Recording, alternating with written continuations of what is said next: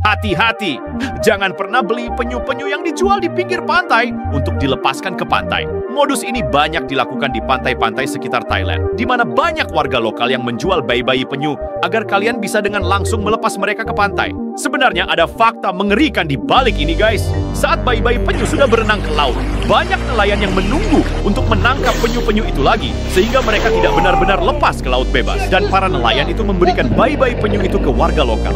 Dan penyunya pun dijual lagi